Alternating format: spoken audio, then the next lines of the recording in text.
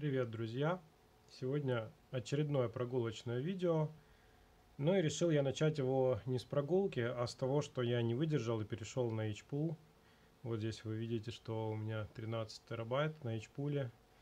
И да, я теперь майню на HPool, потому что выпуск пулов отложили, неизвестно насколько. Поэтому вот как-то так, а что поделать. Вот, ну а мы пойдем прямо сейчас.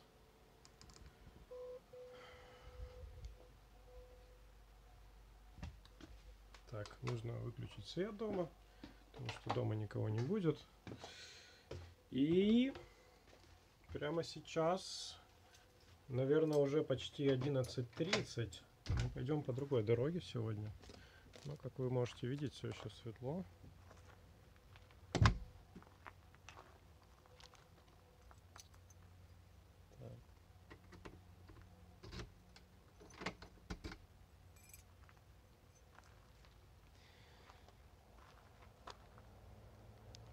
Да, все еще светло. Вот, и, в общем, пойдемте гулять. Отличная погода, как и в прошлый раз. Просто великолепная. А, причем не только на улице. А, крипта тоже вся зеленая, так что погода хорошая и на улице, и у меня в голове, так скажу. Вот. Заодно по пути проверим почту, так как мы идем навстречу ей.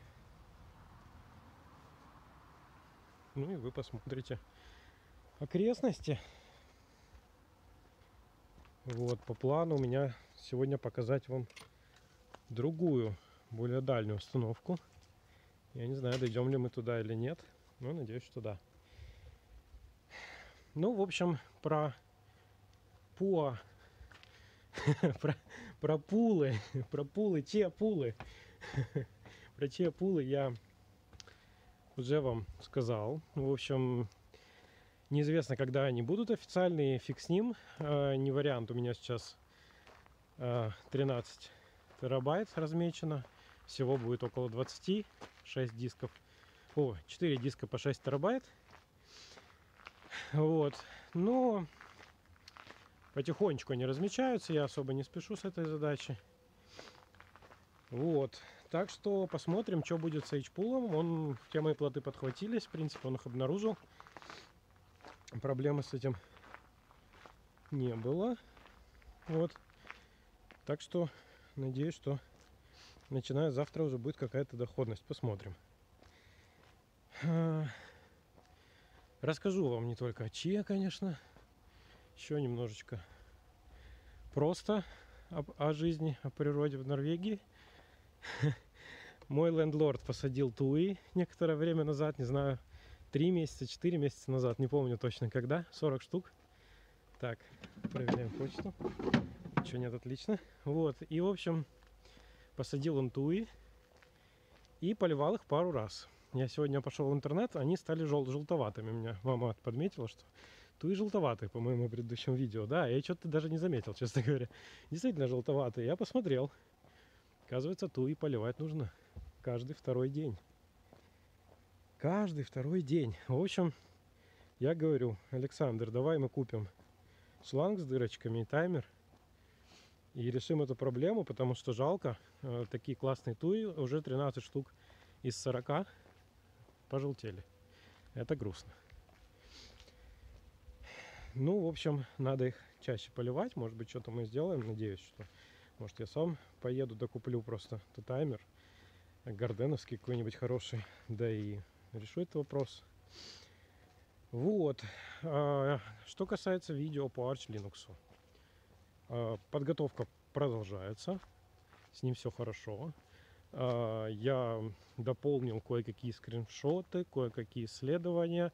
Текст, в общем, уже практически готово к тому, чтобы снимать. Я думаю, что еще два дня у меня уйдет на то, чтобы довести до идеала все моменты, потому что хочется сделать хорошее видео. Вот. И тогда буду, делать видео по Arch Linux, а затем, как и обещал, конечно же, видео про Mac. Почему нельзя пользоваться Mac. Но побережем эту тему для более позднего времени. Так, сейчас я переключу камеру, если получится, для разнообразия. Раз, два, три. Нет, не переключу. А, во, вот. вот. А, ну и что я еще делаю, что вам рассказать? Я пробую разные арт-дистрибутивы. А, парабола, гипербола, то, что я последнее пробовал на vm -ке. А, хочу также изучить, какие есть еще необычные Arch-based дистрибутивы, потому что их достаточно много, и не о всех я знаю, и хочется ничего не упустить. Вот. А, также я выпустил новый релиз моего, моей приложухи скрипта Linux Downloader на GitHub, можете зайти github.com slash sx slash linux-downloader. Ссылка, я думаю, будет в описании, если я, конечно, не забуду ее туда поместить. Но, в общем, Linux Downloader на GitHub выпустил версию 7.1, там 70 дистрибутивов. Я поправил поддержку около десятка дистрибутивов, которые по определенным причинам там поменялись у и перестало кое-что работать. Теперь они все работают, все 70 скрипт может быстро закачивать. Также он позволяет запускать их, в принципе, в виртуалке. Поэтому с помощью него вы можете потестировать. Вот. А, кроме того, что вам еще рассказать? а, нашел я, значит, э, экран от кассового аппарата. Двухстрочный 20-символьный экран, который, знаете, показывает цену там при покупке, итоговую сумму. Вот этот вот такой на вакуумных лампах, что ли, так он, VFD он называется, как-то так он называется. Попытался я его заставить работать, нашел библиотеку, э, которая называется LCD Proc. Вот, запитал, подключил TXRX. А, там еще какие-то помпины были для Flow Control или чего-то такого. Согласно документации, экран запускается, на нем появляется демка, но не получается при помощи LCD Proc и демона LCDD вывести на него хоть что-то. Написал разработчикам на GitHub. Говорю, так и так, ребята, что я не так делаю, помогите, пожалуйста. Вот, они уже мне даже ответили. Ну, в общем, если получится, буду выводить на него курсы крипты. Может быть, объем моего плотинга в Ти, я не знаю. Сейчас что-нибудь посмотрим. Ну, я, конечно же, Продолжаю гулять с приложухой Sweatcoin. Вот могу даже показать сейчас, она долго загружается, сейчас она загрузится. Это вот модная анимация. Уже подтупливает. Вот, отлично. Вот, собственно, сейчас я как раз гуляю с ней. Можно, кстати, врубить буст. Я не знаю, что я этого не сделал. 20 минут буст, старт. Вот, все, буст поехал. Вот, продолжаю, в общем, гулять с ней. Заказал кое-что из их магазина. Посмотрим, э, как быстро придет, насколько будет прикольно, все такое. А, ну, могу сделать обзор, если это будет что-то интересное, сделаю обзор. В общем, можно зарабатывать свиткоины и заказывать. А, точнее, там на самом деле скидка. Они дают скидку, не полностью, но там бывает за доставку надо доплатить. Но, с другой стороны, там есть и такие лоты, которые позволяют полностью бесплатно что-то интересное получить. Я про это в прошлый раз говорил. А, купил себе рандомный польский напиток, называется окось, окочем. Не знаю, наверное, я неправильно произношу, не знаю, польский, к сожалению. Но окочем или окоцем, не знаю, или что-то среднее. В общем, это некое подобие яблочного сидра, а, хотел, хотел повернуть камеру на Теслу, но у меня другой режим включен. Вот Тесла. Там, кстати, зарядочки. В общем, какое-то подобие сидра яблочного с черешней, что ли, что-то такое. Интересное, необычное такое. Вот. Эм, что еще происходит? Эм, продолжаю работать над своим кластером. Э, кстати, если зрители кто-то знает, э, что можно сделать, в общем, у меня идея в следующем. Расскажу вам. А, у меня есть кластер из ноутбуков. Вы, возможно, видели в одном из видео мельком его где-нибудь. Или сегодня даже, может, мельком его видели. А этот кластер из ноутбуков, э, задача у меня такая, чтобы он загружался и объединялся в кластер каждый раз сам. Я уже сделал образ, у меня есть э, по XE образ э, Rancher OS, который так делает, входит в Docker Swarm, но, к сожалению, во-первых, Rancher OS перестали поддерживать эту систему, ребята из Rancher, то, ну, она Legacy теперь считается, в общем, они Kubernetes заняли, занялись, а я, честно говоря, Kubernetes не очень хочу, потому что она слишком громоздкая для старых букв. Вот. В общем, я раздумываю, как бы сделать автоматический кластер, который сам строится. То есть, вот считаю, вы загружаете систему с сети, да, абсолютно с нуля, только по MAC-адресу, допустим, выясняется хостнейм, все остальное как бы одинаковое для всех систем. И затем как бы на этом кластере что-то там запускается, работает. Вот. Э, такая как бы задача. Я думал, там Xcat, там есть какие-то разные утилиты для этого. Куча всего на самом деле, но эм, оно все как бы либо сложно очень настраивается для дата-центра, либо вот как-то не так, что прям очень легко и быстро развернуть домашний кластер, который будет, ну, например, там в докере или еще как-то объединен. Вот. А, собственно, задачи, например, у меня типичные. Это, ну, скажем, запуск, а, например, запуск э, гридкоина, да, чтобы проводить э, вычисления с, э, в Боинге и получать монетки гридкоин. Ну или какие-то еще задачи, вот, например, заплатить чию, да, на всех а, ноутах одновременно было бы здорово заплатить чию. Что, мы пойдем в лес? Наверное, пойдем, да, еще есть некоторые темы, которые хочу с вами обсудить. Вот, то есть если у кого-то есть хороший опыт, касающийся этого, надо микрофон потише сделать, мне кажется, а то что-то чересчур. Вот, то поделитесь, пожалуйста, в комментариях, э, как бы вы сделали, такой подобный домашний кластер. Есть еще грустная новость. Э, ну так, не совсем окончательно грустная, но немного печальная на первый взгляд. Это мой Canon 7D, с которым я везде всегда и все им фоткал и снимал видео ранее для вас. Кстати, многие видео предыдущие, если вы смотрели на Library, да и на YouTube, сняты именно при помощи него. В общем, последний раз я хотел взять его с собой, вот как раз поход сюда, в этот лес, в который мы сейчас идем. И я и обнаружил, что он не включается. Вот. Есть подозрение, конечно, на аккумулятор, хотя он вроде заряжен. Я проверил, он показывает полный заряд. Э, мультиметром надо проверить еще напряжение. В общем, грешу на аккумулятор или на контакты. Очень надеюсь, что это дело в этом. Если нет, наверное, придется разбирать фотик. Конечно же, он у меня бэушный, естественно, никакой гарантии на него у меня нет. И это будет мой первый Canon, который я разобрал, потому что раньше с моими Кэнонами все было хорошо и не приходилось их разбирать, что-то с ними делать. Так, пойдем по короткому пути, наверное, вот сюда. Вот. Э, но, с другой стороны, на позитивной ноте могу сказать, что я забрал себе корпус для компа. Э, NZXT, кажется, компания называется. Классный корпус. Э, размышляю, какое именно железо в него собрать. То ли новое какое-то железо, которое у меня будет, то ли мое железо с предыдущего компа, то ли все-таки дождаться, когда придет мой корпус от предыдущего компа, который, собственно, содержал в себе этот комп из России, и собрать как бы мой предыдущий комп в том же в корпусе, в котором он и был. А, вот. Ой, что-то не оптимальный, конечно, маршрут для... Вроде бы все... Да нет, все видно на самом деле, но на видео не видно просто. Вам, может быть, не очень интересно. Но сейчас мы выйдем через одну минуту, я думаю, мы выйдем там, где уже будет свет. По крайней мере, на это надеюсь. Вот, и, в общем, не определился я пока, что делать с э, корпусом NZXT, э, но в любом случае у меня еще два компа, которые без корпусов, то есть всего у меня их три, без корпусов компа, которые определенно надо куда-то разместить.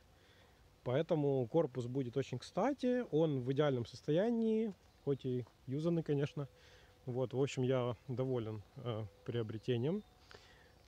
Эм, классный, классный, удобный корпус, большой, просторный. Я думаю, что в него, наверное, чья риг поместить. Э, Винчестер это там место под 6 штатное, но я думаю, что в реальности туда можно 10-12 запихнуть.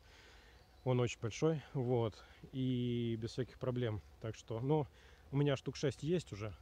Может быть чуть больше, может остановлюсь, не знаю, посмотрим. Хм. В общем, заказал еще, кроме корпуса, еще заказал солишки всякого. Термопасту себе заказал еще по мелочи, там всякие нужные штуки. А, и теперь стартовал новый раунд ожидание в 30 дней, пока что-то придет с. Вот. Вообще, знаете, надо чаще гулять. Вот сейчас 11.30 ровно. Такая прекрасная погода. В лесу замечательно, чудесно. И, как вы можете видеть, вот за 15 минут сюда можно прийти. И, в общем, как-то проветривать голову. Э, даже вот разговаривать, рассказывать какие-то новости. Так приятно, здорово. Единственное, мне немножко не хватает объема легких, идти в гору, рассказывать вам и стараться еще следить, что все было хорошо с камерой. Но сейчас я поднимусь чуть выше и, наверное, будет полегче. Да, точно надо чаще выбираться. Еще хочется делать интервью, подкасты, игровые стримы. И для игровых стримов я вот думаю, может какую-то новую игру найти там, и индюшку, и еще что-то, или просто факторию, постримить в очередной раз факторию. Если у вас есть какие-то интересные игры, которые вы можете предложить для стримов, э, кроссплатформенные, желательно. Э, хотя не, не обязательно, сейчас, в принципе, можно через Протон запускать игры, но лучше в кроссплатформенные. Вот. Можете советовать, и я подумаю, если у меня эта игра будет, или если будет интересно ее постримить, то обязательно постримлю. Вот. В общем, да, однозначно надо делать больше интервью. А, но для интервью нужны люди. А, я всем говорю о том, что я хочу делать интервью. Но, видимо, нужно больше инициативы, нужно предложить им тему, а, нужно как-то ну, в общем, все взять в свои руки, позвать просто как бы гостей и сделать интервью. Тогда это, я думаю, пойдет. Наверняка. Вот. Пока что... Э, пока что... Делал ли я интервью за последнее время? Да нет, уже очень давно ничего не делал интересного. Вот, поэтому, если вы хотите, кстати, можно сделать интервью и онлайн. Если у вас есть интересная тема по крипте или по тем темам, которые я сегодня озвучивал, или все что угодно по open source, железу, софту, а, разработке, напишите мне в комментарии, предложите, или просто мне в личку там мои контакты найдете. Можно на мой сайт зайти sx.ru, там, в принципе, есть контакты все, там что вам удобнее, Facebook, Twitter, Telegram там, и так далее. Там же можно задонатить, кстати. Вот. Так что, да. Эм, хотелось бы больше каких-то интересных идей, которые бы резонировали среди людей и которые бы всем было интересно слушать и смотреть. Я так иногда немножко странно рассказываю, потому что мне приходится проверять э, живость микрофона, живость записи, чтобы все было поприятней, э, был, поприятней был звук, поприятнее была картинка, в общем, чтобы все, все работало, поэтому можете не удивляться, потому что я немножко забиваюсь. Вот. Да. Еще про еду немножко. Купил себе норвежский сырок. Зашел в магазин, смотрю, О, сырок. Думаю, ну, норвежский сырок, ничего себе, классно. Они все-таки делают сырки. Ну, в общем, купил, пришел домой, забыл достать из сумки сразу. Чуть-чуть он полежал, там чуть-чуть подрасплавился. Ну, ладно, положил в холодильник. Сейчас э, заморозился он снова, чуть-чуть подзаморозился. Я его достал. Думаю, ну, сейчас съем. А это, оказывается, не сырок. Ну, на самом деле, мне подруга ранее подсказала, что это не сырок. это некая пастила с коньяком, я даже не знаю. В общем, ну, прикольная штука, но это, конечно, не сырок. Но благо я покупаю эти сырки Карумс, там, Натукас, или как-то так они называются. Не знаю, что наверняка название неправильно проговорю сейчас. Вот, поэтому, если вам интересно будет про сырки, которые есть в Норвегии в продаже, или там про сгущенку, или русские продукты, гречку и все такое прочее, то я могу сделать отдельное видео для этого. Вот. Ну, да, в общем, с сырком был фейл. А еще о еде. Пицца. Пицца была классная. Нет, не то хотел рассказать. А, не о пицце. А, обнаружил, значит, я в своей морозилке картошку. Я никогда не кладу картошку в морозилку, потому что зачем? Она замечательно чувствует себя и не в морозилке. Но почему-то она была там. В общем, естественно, стала какой-то мягкой. После того, как я ее разморозил, пожарил. Ну, нормальная, в принципе, вкусная, но, блин, все-таки она была мягкая, даже после жарки. И вот, собственно, вопрос. Есть ли какой-то лайфхак? Возможно, вы знаете, что можно сделать с замороженной картошкой после морозилки, чтобы она не была такой мягкой. Я думаю, что такой лайфхак наверняка есть. И надо просто его знать. Очевидно, я не обладаю такими знаниями, так что, может, мне в комментариях вы что-нибудь да подскажете.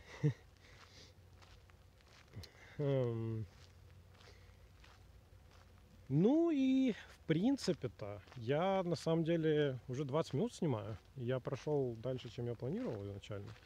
Можно, конечно, дойти до пляжа. Э, уже осталось не так уж далеко. А, другое дело, я не знаю, что еще вам рассказать, потому что я вроде бы ничего не позабыл. Я могу, конечно, еще немножко рассказать про исследования Мака, которыми, которыми я до сих пор, от которых я до сих пор в шоке. Да, то, что я не могу э, к нему привыкнуть, себя приучить. Это или же все-таки оставить это для отдельного видео. Ну, не знаю, ладно, я сейчас не структурированно расскажу все равно, поэтому я расскажу. Что меня, например, раздражает? А, нельзя нормально настроить все так, как э, тебе хочется, а не так, как решил Apple. Э, ну, например, анимации. Вот то, что мне точно не нужно, то, что я не хочу. Я хочу, э, чтобы не было анимаций, чтобы переключались, например, рабочие столы или окна моментально и не было никаких задержек. Довольно простая, простое требование вроде, да, ничего особенного. Но э, если мы как бы это требование рассмотрим в разрезе Apple, то оно становится из простых превращается в очень даже сложное. И непонятно, что с этим делать. То есть, да, там есть кнопка Reduce Animations, ты нажимаешь Reduce Animations, и она делает именно то, что сказано, она уменьшает количество анимаций и делает некоторые анимации не такими прям назойливыми. Но они все равно никуда не уходят. Тогда я стал копать, как же это выключить, нашел кучу команд, э, штук 30 в интернете, попробовал все. Да, действительно, часть анимации пропала, стала получше, но не все. В частности, анимация при смене рабочих столов. В общем, я выяснил, что есть специальная прога, называется Total Spaces 2, которую можно поставить и назначить отдельный хоткей, конечно же, который желательно, чтобы еще не конфликтовал ни с чем другим, потому что хоткеи в маке это отдельная история на час, наверное, о том, как, какие они ужасные.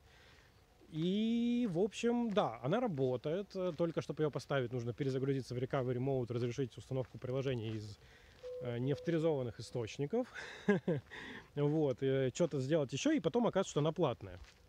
Самая веселая часть, конечно, кажется, что она платная. А, но она работает две недели бесплатно. И, в общем-то, вот мои две недели подошли к концу. По-моему, сегодня было один день, что осталось. Не знаю, что я буду делать. Вот.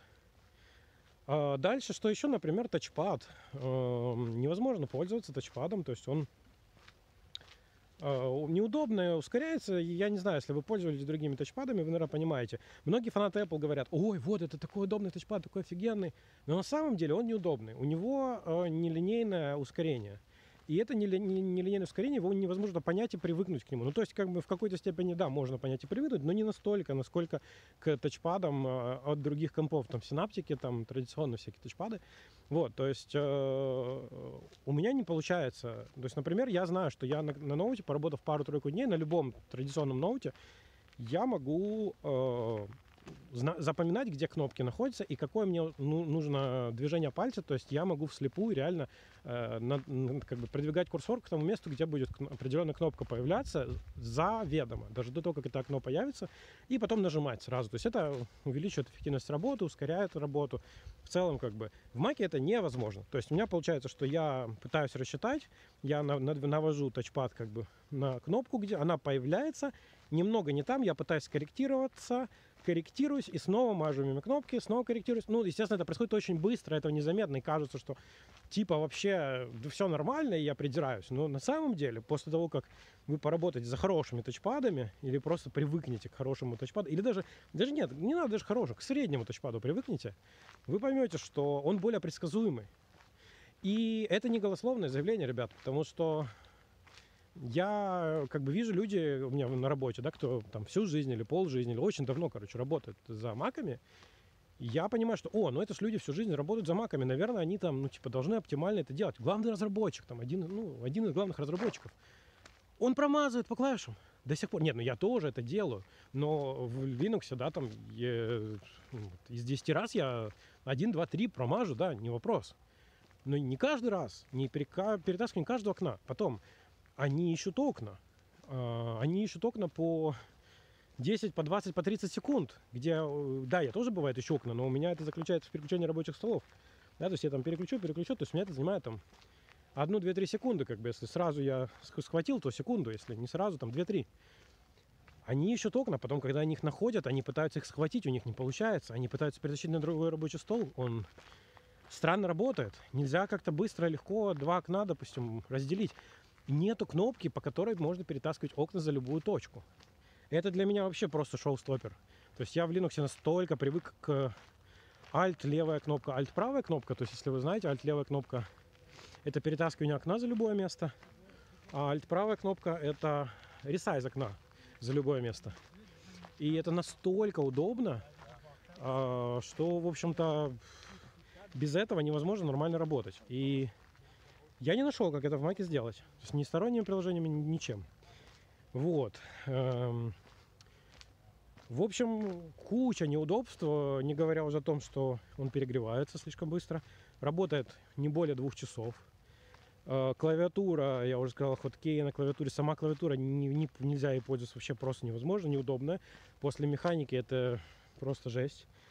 Вот, и, в общем, ладно, я не буду вам больше рассказывать про Mac, просто потому что про это будет отдельное видео, наверное, тоже на полчаса оно будет, то и больше, где я подробно расскажу про все эти фейлы и еще добавлю больше, а, где я их э, покажу вам, в реальности покажу вам, как они выглядят. А, кое-что я записал уже, но, к сожалению, у меня нет возможности легко захватывать сигнал из Мака, я не знаю, может я такую возможность найду, может нет.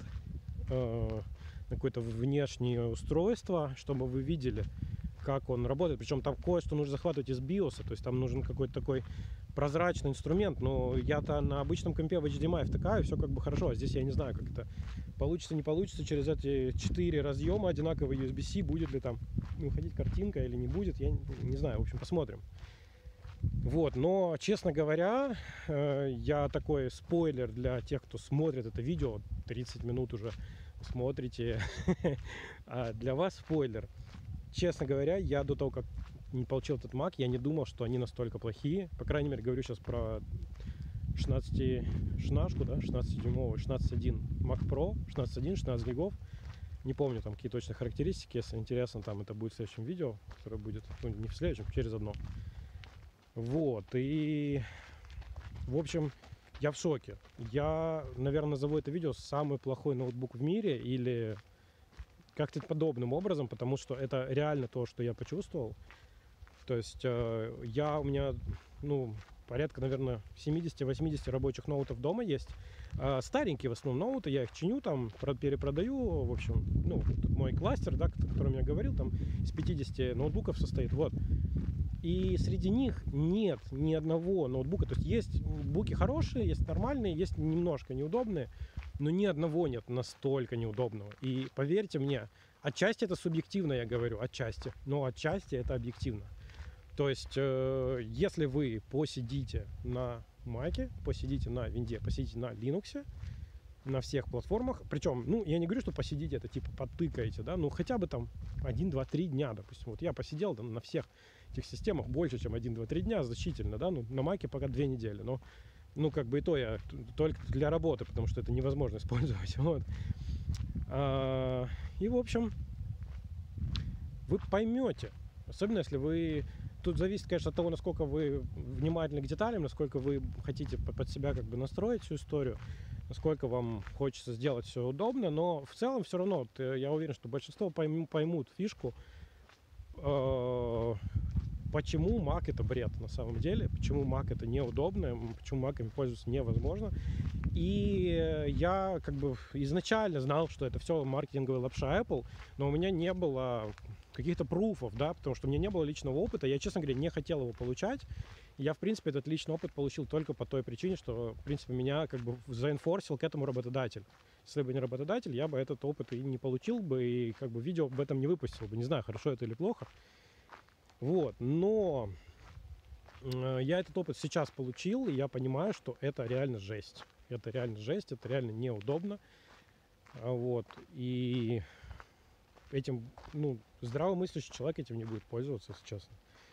И он просто возьмет как что-то удобное для него и настроит это под себя, как бы. Вот. Или не будет настраивать, возьмет просто что-то удобное для него. Такие тоже есть, да, не вопрос. Возьмите там Ubuntu, Fedora последний, не очень хороший, там, или Mint. Да или даже Arch. Ну, не Arch Linux сам по себе, конечно, там Manjaro, например, возьмите, да. Пожалуйста, все преднастроено, как бы для людей, так скажем. Все удобно из, из коробки изначально. Вот, ой, у меня тут говорит телефон мне, что я уже 20, осталось 20% батареи. А, но мы почти дошли, кстати, до пляжа. Может быть, мне даже хватит до, не, до него дойти. Может, чуть-чуть ускорюсь, да, сейчас. Вот, в общем, ладно, хватит о груз. Там что, я целые, наверное, 7 минут уже посвятил этого, э, этого видео, которое, в общем-то, не планировал посвятить э, Маку. А, вместо этого лучше вам расскажу еще про Arch, да, тоже какие-нибудь инсайды из видео про Arch. На это, в принципе, мы закончим, тем более, что у меня сядет телефон, сядет микрофон, и я все равно не смогу ничего больше снимать для вас. К сожалению, в следующий раз как-то постараюсь пауэрбэнком, что ли, пойти. Может, захочется подлиннее сделать видео. Вот. Что, что рассказать про Arch? Ну, на самом деле, в Arch есть одна такая потрясающая штука. Ну, не, я сейчас не говорю про конкретную Arch, да, вообще про все Arch-дистрибутивы, коих там больше 12 из популярных. Там Manjaro, Garuda, там э, то, что я уже говорил, парабола, гипербола, как бы там без SystemD дистрибутива, если вы хотите, пожалуйста, все это есть. В общем, э, пакетный менеджмент. Пакетный менеджмент это просто феноменально. Насколько все грамотно и удобно сделано. Если вам нужны свежие приложения, или если вам нужны не свежие приложения, тоже это все есть. Пожалуйста. То есть огромное количество опций и возможностей. Snap-пакеты, Flatpak, AppImage, Аур с автосборкой, с автоскачиванием всех приложений, Pacman, конечно же. В общем, куча всего, все это доступно в несколько кликов, даже через графический интерфейс, кстати говоря. И вот, вот это основной мой э, момент. А, кроме этого, конечно, Arch очень быстрый и стабильный дистрибутив. Он в плане работы на железе у меня аптайм некоторых ноутбуков, которые бы я бы в принципе не подумал, заходят за там 120-150 дней. Э, настольники там могут год работать спокойно. Э, вот. И, в общем, боюсь я, что у меня плохой сигнал будет на микрофоне. Но главное, что мы успели дойти до пляжа практически. Практически успели. Сейчас уже осталось чуть-чуть совсем 33 минуты. Вот, и, в общем, э, будет про Arch еще много всякой инсайдерской информации. Про, расскажу про то, какие дистрибутивы есть на основе Arch, чем они отличаются, а, чем они интересны. Тут, кстати, шла большая стройка, кажется, она уже закончилась. Да, закончилась. Ну, такая очень большая стройка. Мое любимое кафе, кстати, вот видите, лампочки светятся, если очень сильно надеюсь, что хватит мне. Это как раз пляж и есть, там кафе напротив пляжа. Очень надеюсь, что хватит батарейки еще на 2 минуты дойти до него сделать вам панорамку и на этом закончить. Сейчас посмотрим. Вот. В общем, для меня вот как раз-таки, ну, Arch это в какой-то степени антипод Мака, да, и э, он э, позволяет управлять э, системой, если ты хочешь. Вот что немаловажно, если ты хочешь. Если ты не хочешь, ты можешь взять Arch, основанный на Arch дистрибутив, который уже преднастроен, и пользоваться им. Пожалуйста. То есть все возможности. Хочешь, настраивай, не хочешь, настраивай. В Маке же такой возможности просто нет. То есть кое-что дата можно настроить, но не все. Далеко не все. В частности, то, что мне нужно настроить, то, что мне нужно убрать, поменять. Драйвер тачпада, внешний вид, как это панель. Я не хочу такой, хочу по-другому, чтобы оно работало. Переключение окон анимации. Вот это все. Э, ну, про интерфейс расширения я уже молчу вообще. Там это с этим вообще все очень печально. вот, блин, но я все время срываюсь, просто, просто это настолько тема меня будоражит, потому что столько людей на это ведутся, столько людей это покупают, они рекомендуют это друг другу. Это же кошмар, ребята, это просто Это просто ужас. Я понимаю рекомендовать что-то хорошее, но как можно рекомендовать, если вы не попробовали? Если вы не попробовали другое, если вы не сравнили, да, если вы нельзя же так, то типа вот я попробовал в жизни одну булочку с корицей, да, она вот здесь, допустим, продается. Я вот ее одну попробовал, я всем рекомендую, она такая вкусная. Да, спору нет, но, блин, человек, тебе нужно попробовать другие булочки с корицей, сравнить и посмотреть, да, хотя бы, хотя бы среди хороших, да, среди хороших булочек с корицей. Блин, я, к сожалению, не смогу зайти на этот э, замечательный перрон пла- плавучий, потому что он в воде. Я не хочу сейчас туда заходить. Но э, радостная новость.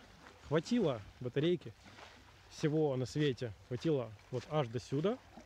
Я считаю, что это вин. Сейчас, э, наверное, уже там без, без 15 минут полночь. Без 10, без 10 минут полночь. Вот. Такая, такой вот уровень освещения у нас. Наверное, вам слышно, да? Волны.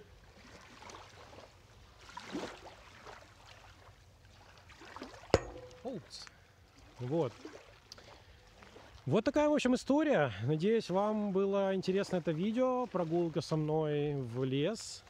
Э, Видео получилось длиннее, чем я планировал, но для тех, кому может быть интересно посмотреть. А, Пишите вопросы, любые, задавайте мне вопросы в комментариях.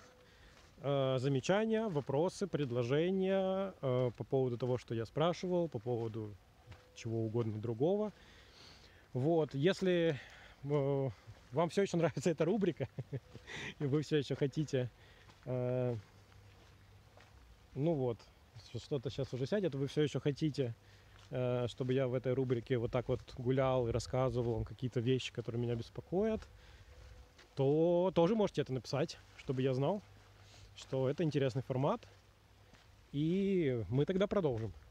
Э, Также можете писать по поводу длительности, да, слишком длинная, слишком короткая, слишком динамичная, слишком медленная, плохой звук. В общем, все, я знаю все, что вы пишете, с удовольствием прочитаю, отвечу на все моменты.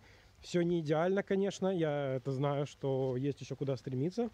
Это видео я стараюсь делать no effort видео, то есть без минимальной, фу, без минимальной, с минимальной подготовкой, то есть взял камеру, телефон точнее, микрофон, стабик и все, и пошел. Просто взял, пошел. Рассказал что-то.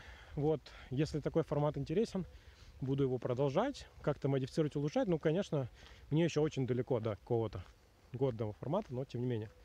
Будем стараться пробовать. Вот. Если же этот формат не очень, то я буду stick to классическому э, да, формату, который просто э, стационарный, как скажем так, в домашней студии записывать какие-то свои мысли и соображения более подготовленно, более концентрированно, не на 40 минут, а на там 15-20, хотя чувствую, что по Арчу будет полчаса, чувствую, что по Маку будет полчаса, но это будут э, такие исключительные видео. Я вот мне самому, когда я смотрю на YouTube, мне нравится видео длительностью вот 18-20 минут. Я знаю, что это такое число, которое всем рекомендует. Я, мне кажется, я буду стараться к нему стремиться, но не всегда получается. И особенно, когда вот такое неподготовленное что-то говоришь, много льешь воды, какие-то лишние слова. Можно было, конечно, это все быстрее, четче все рассказать. Ну ладно, ребят, а, давайте вот такую финальную панорамку и на этом закончим, потому что это уже действительно экстремально. Будет ровно 40 минут. Я сейчас постараюсь на 40 минутах об- обрубить все. Вот, а потом приду домой, просто сошью звук и прямо сейчас выложу для вас. А завтра утром, ну то есть сегодня уже утром вы сможете это посмотреть. Так, у нас осталась ровно минута а, до 40, и сейчас будет панорамка. Можем начать с меня. И вот так вот панорамку делаем.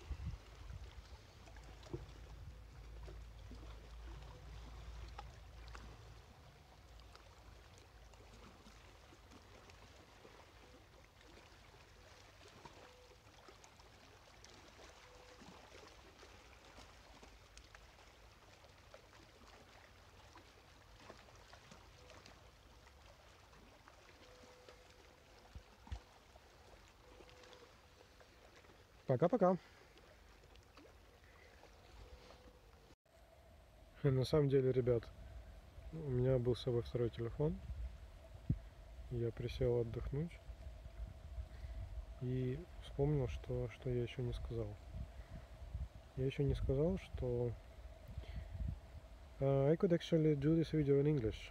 If somebody, probably nobody will watch into this moment where I speak in English, speak, uh, where I speak English and uh, yeah, so I frankly don't know why I'm saying you right now, but anyway, uh, as far as my idea goes, I can make this video as well in English. Of course, my English is not so perfect, and uh, I definitely will make some mistakes. And um, sorry, get get back to get back to check if I forgot something or not. So my English is definitely not perfect, and uh, I will have some struggles with some words, but. Uh, uh, it doesn't matter much if somebody wants to see some of the videos in English uh, leave a comment as well down below in the comment section and uh, I will consider doing some of the videos in English I actually am considering already and I'm definitely doing some videos in English from time to time and I'm trying to improve my language skills. And uh, that's why actually it's important not only for you but for me as well. So I think I will do videos in English from time to time but I need to know if if there are some of you who might be interested in such videos and uh, if the answer is gonna be yes I would say that it will motivate me to do it more frequent or maybe to translate some of the Russian videos to English or maybe make bilingual versions of the videos something like that uh, so you know. And uh, that would be really nice. I also need to find out where, whether it's uh, better to make all of the content available in one channel and make maybe some prefix styles like RU, N before the title of the video or make a separate channel for English content. That would that sounds better maybe and uh, in practice I don't know. I don't know because I have no subscribers. Basically it's super small amount of subscribers and uh, I don't know if it will improve or if will it, it will be not really very comfortable for everybody to see bilingual content on the channel. And I also hope I will, could be able to manage to create content in other languages as well like maybe starting with Norwegian then maybe I don't know what will be next. I don't know. Really maybe Polish maybe Ukrainian maybe some others. I want to learn more languages as I go in my life as I travel as I see places talk to people and uh, we'll see we'll see. But but for the beginning at least uh, you know two languages are already there and they will grow even more. But uh, do you feel the need of of this? Or it's only me and I'm dreaming and actually nobody will care? Okay let's go back to Russian as the the most the largest part of the video was Russian. Um, Есть ли еще что-то, что я хочу вам рассказать в рамках моей прогулки. Э, то, то длинное, длиннющее, длиннющее видео на 40 минут. Я, кстати, надеюсь, что оно сохранилось, потому что э, когда я стоял на углу и снимал для вас панораму, телефон выключился, чего следовало ожидать, собственно, он давно об этом говорил. Я очень сильно надеюсь, что с видео все окей, оно сохранилось, потому что там 40 минут контента ценнейшего, чистейшего контента, классного. О, кстати, да, вот о чем мы поговорим на пути назад. Мы поговорим о том, вот как по-вашему, а, полезно ли быть инфлюенсером? Ну, это, наверное, такой вопрос с подвохом, конечно, он э, смотря для кого, и скорее, наверное, да, я думаю, что вы все ответите скорее да, но вы можете рассказать об этом в комментариях, свое мнение. Вот э, я расскажу свое мнение об, об этом прямо сейчас. Эм, я не помню, говорил ли я на видео, кажется, еще нет. У меня такая жизненная цель небольшая. Эм, выстроить до 200 э, различных источников дохода, э, которые поступают ежемесячно. Ну, то есть, например, э, один источник, ну, я не говорю, что там это прям кардинально разные источники, должны быть не обязательно, да, то есть можно за один источник воспринимать, например, одну крипту, да, то есть если у меня 20 разных видов крипты, то это можно воспринимать как 20 источников, но определенно не, это не значит, что если я говорю 200 источников, значит 199 будет крипта, а одна, один будет зарплата. Нет, конечно, нет. Э, я говорю о том, что там будет смесь, и по как бы, не знаю, по какому-то внутреннему рациональному мнению моему, в моей голове, мне кажется, что э, должно быть до 20 источников каждого вида. То есть, например, ну да, 20 источников дохода это будет крипта. 20 источников дохода это будет, например, акции. 20, например, какие-то драгметаллы. Окей, можно, это уже 60. Э, еще один это зарплата, там можно еще несколько там напридумывать. Но как бы э, суть не в этом, суть в том, что нужно найти себе вот такое количество источников. Причем это обязательно денежный доход, да, должен быть, то есть можно туда включить и ресурсный какой-то доход, э, просто как, как, как, как бы, ну, все подряд. Но я все равно чувствую, что вот сколько бы я, как бы я не считал, сейчас у меня там по некоторым подсчетам, можно сказать, 20, 30, 40, 50, ну, может быть, 60 то есть я где-то на четверти пути, вот я это чувствую. И э, возвращаясь к разговору о инфлюенсерстве, да, о том, чтобы становиться неким инфлюенсером, это как раз тот инструмент, который позволяет вам формировать потоки. И вот это вот интересно. То есть э, вы можете э, стать известным блогером, видео, текстовым, неважно. Э, писать э, статьи, делать видео, что-то, что вы делаете, и со временем обрести некую аудиторию. Вот э, я часто привожу в пример к тем, кто меня знает. Знает, что я смотрю Мартина, с его Винтергатаном, замечательным человечком, очень известным DIY-чиком, наверное, самым известным DIY-чиком на YouTube, ну, по крайней мере, среди тех DIY что я смотрю. Я смотрю достаточно много DIY-чиков, поверьте, точно с десяток, наверное. Ну, как бы не то, что я их регулярно смотрю, но когда у них выходят какие-то интересные видео, я смотрю их, конечно, с удовольствием. Вот, но видео Мартина я всегда жду очень сильно, с большим нетерпением, и смотрю их. Это, не знаю, это у меня как премьера какого-то фильма, который ты ждал там два года или пять лет. Вот серьезно, вот каждый выпуск его, он сейчас делает их реже, кстати, и выходят они, ну, в среднем там один-два выпуска в неделю. Но они такие классные, они такие добрые, они такие не знаю, искренний, и там ты чувствуешь, как человек растет, развивается. В общем, он, э, он очень большой инфлюенсер. Он за 10 лет там карьеры своей на YouTube, э, он рассказывал, как он делает свою замечательную свою машину MMX, Marble Machine, да, Marble Machine X, э, которая на основе шариков играет мелодии. Такая вроде, казалось бы, достаточно простая задача, такая достаточно странная и банальная даже. Но, тем не менее, как бы, человек вот этим горел, он креатор, да, он пишет музыку, музыкант. Я, к сожалению, не могу ничего такого сказать о себе, но, может быть, когда-нибудь я нормально научусь играть на клавишах, на гитаре, на чем-то еще, или на барабанах, например, я хочу научиться, или на всем вместе, и, может быть, буду делать какую-то музыку, что-то посмотрим. Но это все такое, как бы, не срочно, это более далекие планы. В общем, э, о Мартине, да, он инфлюенсер, и он сумел достичь такого феноменального уровня. У него 10 тысяч э, коммитеров, донатеров на всяких патреонах и YouTube подписках, да, 10 тысяч человек, почти там, 9 тысяч сколько-то там. А, то есть, представляете, там, человека, ну, там, по доллару, да, по, по 2, по 3, по 5, кто-то по 100, кто-то по 500. А, почти 10 тысяч человек, это просто феноменально. То есть, представляете, какой это уровень дохода, да, это, в принципе, можно закрыть всей этой аудитории вот эти мои 200, 200 источников дохода условных, да. вот, то есть, э, во-первых, это приятная зарплата. То есть, а почему, э, в принципе, почему меня интересует 200 источников дохода? Вообще, why do I care in first place about this, да? А, да потому что мне как бы нужны доходы уровня крипты, то есть э, миллион долларов. А в связи с тем, что я планирую криптопоселок, да, для криптопоселка нужно много ресурсов, не обязательно денежных, но как бы денежные ресурсы, они портабельные, они наиболее портабельные, да, они конвертируются во что угодно. Поэтому с ними легко и удобно. Поэтому нужно огромное количество денег, чтобы этот проект сделать самому, да, чтобы не заморачиваться. Потому что инвесторы будут, не будут, как бы там поддержат, не поддержат, фиг знает, вот честно, фиг знает.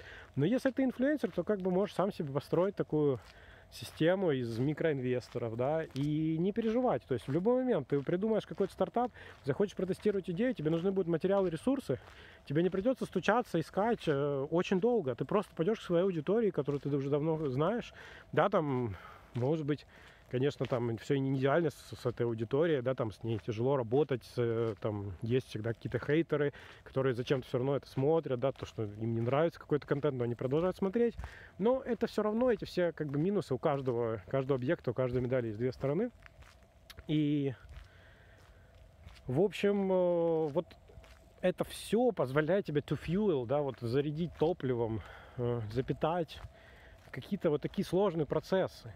Э, вот мне такие процессы нужны. То есть я вижу, что любой современный человек, креатор, мейкер, как хотите называйте там, да, вот он э, должен идти путем инфлюенсерства. И, может быть, это вот немножко скользкая дорожка, потому что там начинается типа реклама, можно там что-то рекламу вставлять. Я вот этого не хочу. Я хочу пройти путем инфлюенсера и попытаться ну, как бы, либо э, ее вставлять минимум только то, что мне самому нравится, там, например, System 7.6, я прямо сейчас вам скажу, да, что мне нравятся ноутбуки System 7.6. Я могу их порекомендовать. Если System 7.6 ко мне обратится, я, скорее всего, соглашусь э, о них рассказать, но, с другой стороны, я буду о них рассказывать объективно. Я не буду брать какие-то готовые keynotes, как, как, как хочет System 76 сказать. И если они хотят сказать, что наша батарея держит 12 часов, но по моим тестам она держит только 7, я, я буду говорить, что она держит 7, да, я не буду говорить, что она держит 12. А, то есть я, я, я, я рискну, скажем так, моим контрактом с ними, да, или я его, я не буду заключать in the first place вообще здесь, да, как бы изначально не буду его заключать, вот. И вот это меня тревожит, это очень сложно. Во-первых, стать инфлюенсером это долго, сложно само по себе. Во-вторых, как стать инфлюенсером и не начать считать, что реклама это нормально. То есть я не совсем считаю, что реклама это прям совсем ненормально. Но реклама граничит с маркетингом, а маркетинг граничит с историей про Apple, Microsoft и прочих ребят, которые пользуются вот этими рекламными инструментами, мягко говоря, очень сильно, мягко говоря, вне хороших, ну, как бы скажем так, ну, короче, они абьюзят. Это инструментарий маркетинга Apple и Microsoft абьюзят, давайте так скажем. То есть они используют его э, больше, чем э, больше, чем хотелось бы, больше, чем, э, ну не знаю, как сказать, больше, чем стоило бы, наверное. И это понятно, у них цель, чистая цель это заработок денег, и для этой чистой цели они избрали средства, это маркетинг, и вот они путем этого маркетинга все, все, эти, все этой цели своей добываются. С точки зрения бизнеса, наверное, э, просто, понятно, ясно и функционально. Но с моей личной точки зрения, это свинство. А, то есть нет ничего плохого в том, чтобы рекламировать свой продукт, но все имеет свои пределы. И вот а, Microsoft не раз уличали в том, что, например, они давали взятки а, даже госучреждениям за то, чтобы их использовали. То есть я не считаю, что коррупция это нормально. Я не считаю, что это можно делать. Apple не раз уличали, например, в том, что они замедляют свои устройства. И они до сих пор это делают. И, в общем-то, много уже об этом есть информации. То есть э, компании реально, э, ну, то есть Plant Obsolence, у них такое висит, не знаю, в, в главном офисе на входе такой огромный, огромная такая табличка неоновая висит Plant Obsolence. Ну, ее, конечно, не видно, она, скажем так, она невидима. Особенно для тех, кто попался на маркетинговую фишечку, вот, купите новый ноутбук с Windows, или, oh, buy a new Mac, it's so great, it's so nice. It can, I don't know, it can, it can have an AirTag, a technology that was available for like, uh, I don't know, uh, 15 years uh, maybe, uh, radio frequency identification, or more, you know. Some of the shops are implemented this technology a long, long time ago. Some of the shops even implemented uh, blockchain checking for these tags or for QR codes or whatever. So, returning back to Russian, sorry. Um, в общем, да, э, очень сложная история с инфлюенсерством, э, очень сложная, запутанная и непонятно, как стать инфлюенсером не продав свою душу маркетинговую демону и сколько это займет времени, но в любом случае я считаю, что попытка стоит свеч. Я хочу попытаться стать, скажем так, open source инфлюенсером, да, то есть таким именно uh, open spec инфлюенсером, если хотите, то есть таким человеком, который нейтрально относится, воспринимает вещи и не готов рекламировать что-то, что, во что он сам не верит, что он не считает нужным. Вот, например, если сказать о маркетинге, то, то есть Ничего, кстати, плохого бы не было в маркетинге э, у Apple, Microsoft, если бы у Linux Foundation было бы столько же денег и такой же маркетинг.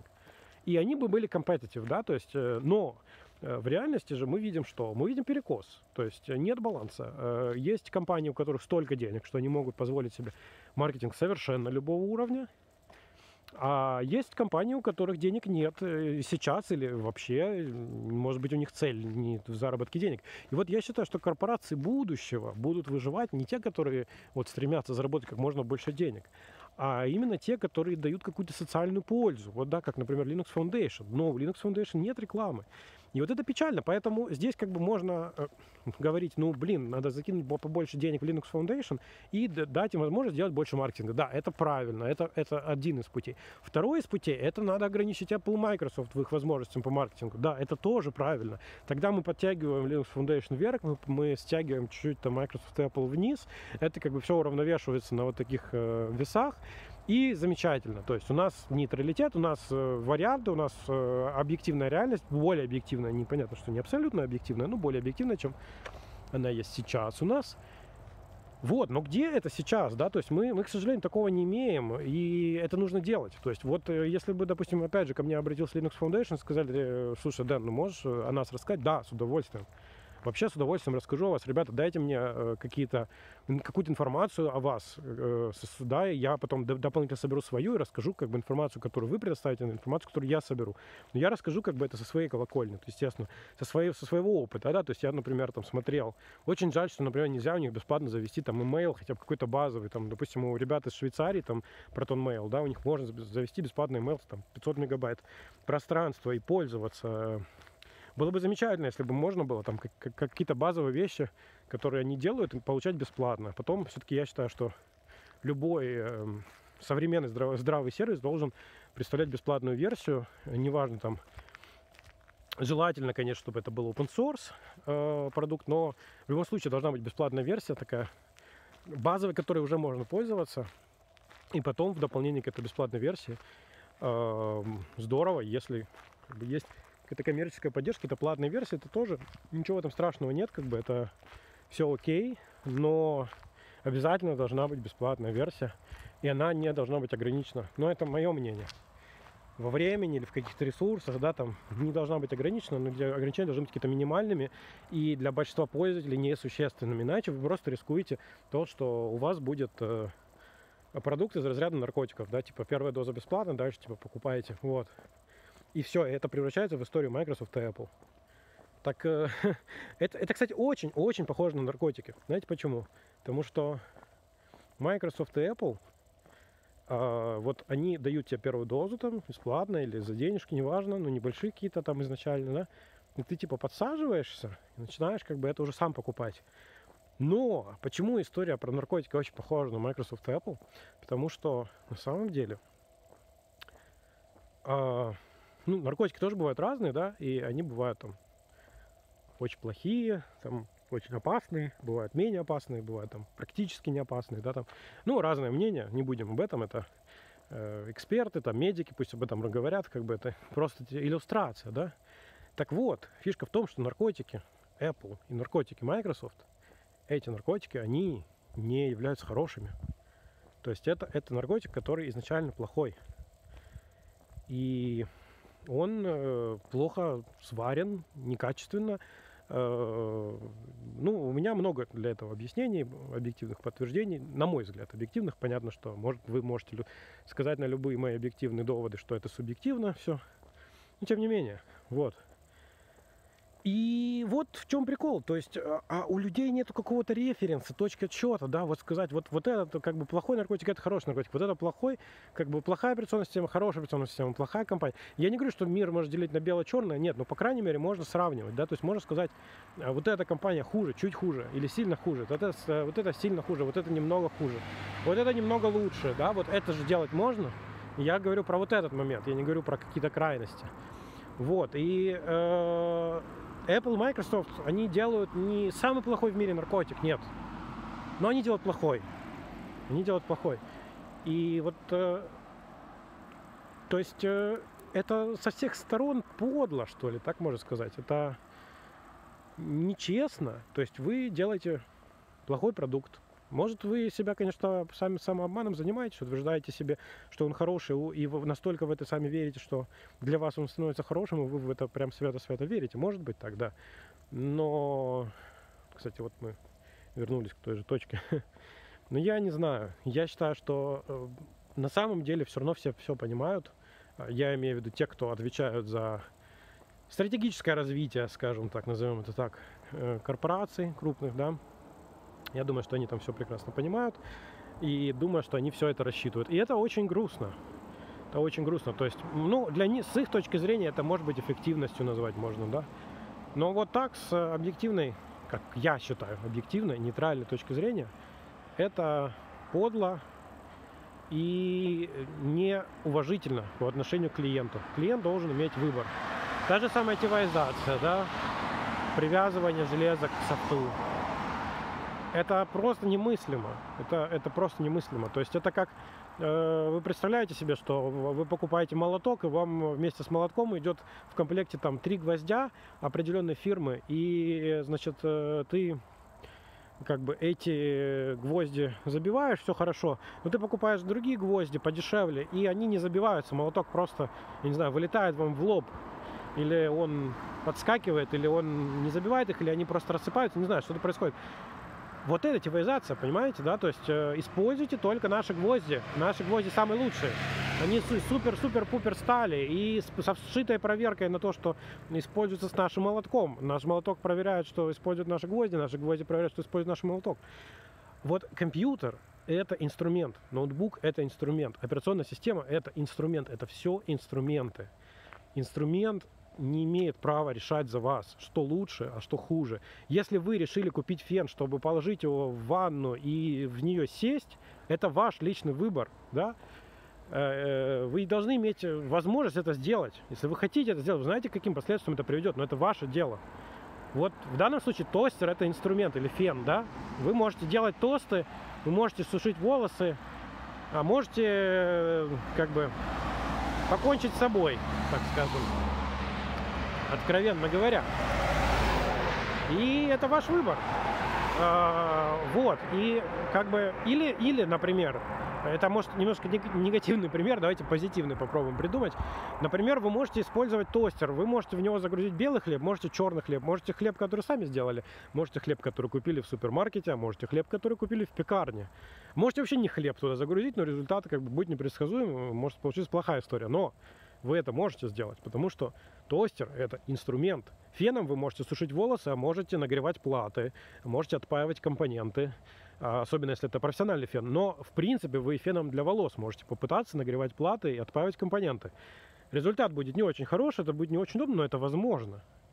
Вот, то есть э, свобода. Человек покупает э, какой-то объект, какую-то вещь, и она должна, ну, она как бы принадлежит ему, он хочет э, вот использовать это так. Это его право, это его возможность. Хорошо, это плохо, это уже как бы другой вопрос. Я хочу, чтобы операционная система и железо э, рассматривались так же. Это инструмент. Они не могут быть залочены. Я, честно говоря, в шоке, что до сих пор у Евросоюза нет э, ну или там есть, может, какие-то решения по, на этот счет, как бы, но до сих пор нет какого-то четкого законодательства о том, что нельзя тивайзировать объекты. То есть если у вас там операционная система, то ее вы должны предоставить как бы какой-то API, какой-то инструмент доступа замены э, этой экосистемы. Да, вы не можете делать прошивки ограниченные. Кто-то может сказать, ой, блин, ну а как же, вот у нас есть медицинский какой-то прибор, и вот в нем секретная зашитая прошивка, потому что если вдруг кто-то там э, прошьет какую-то прошивку, которая типа плохая, а там сделают э, человеку операцию, и ему там будет плохо. Ну да, это возможно. Но только вот смотрите, э, если э, на сегодня человек, э, он как бы э, мы, мы, э, если мы хотя бы можем развивать эту историю, то есть мы можем придумать э, свою прошивку, у нас есть исходники, да, мы можем улучшить. Вряд ли мы будем направленно создавать прошивку, э, которая будет убивать людей. Если такое будет, эту прошивку очень быстро найдут, ее там заблокируют и так далее. Никто не мешает вам сделать средства проверки, верификации, рекомендации, да, предлагать использовать в основном там вашу авторизованную прошивку замечательную. Никто этого не мешает делать, но Дайте возможность э, научному комьюнити развиваться. Э, в одно время наука, чтобы выучить там какие-то, изучить, вернее, новые какие-то особенности человеческого тела, э, людей, э, ну, как бы их резали, да, их э, каких-то больных, там, кто умирал. Бывало, что и не больных, к сожалению, но что поделать было такое время. И испытывали на людях, как бы, э, как мы будем двигаться к прогрессу, если компании будут закрывать все, что они разрабатывают за, закрытыми, за закрытыми дверьми. Кто вам сказал, что прошивка вот этого хирургического инструмента, она настолько хорошая? Кто вам сказал, что альтернативная прошивка, которую напишет сообщество для этого хирургического инструмента, не будет безопаснее? Да, она точно будет со временем. Не сразу, может быть, но со временем. Она точно будет безопаснее. И она будет убивать меньше людей. Первое время, может быть, с ней будут проблемы, но потом будет лучше и лучше. И в итоге это, этот как бы импульс, э, дельта, это выровняется в сторону того, что э, общество будет идти к развитию быстрее, к улучшению, к безопасности жизни, и этот прибор медицинский станет более портабельный, его станут там печатать где-то, производить локально, его станут прошивать вот этими разными прошивками, будут пробовать разные. Где открытая медицина, где она? Вот почему это все засертифицировано, за, закрыто? Нам говорят, что это во благо людей.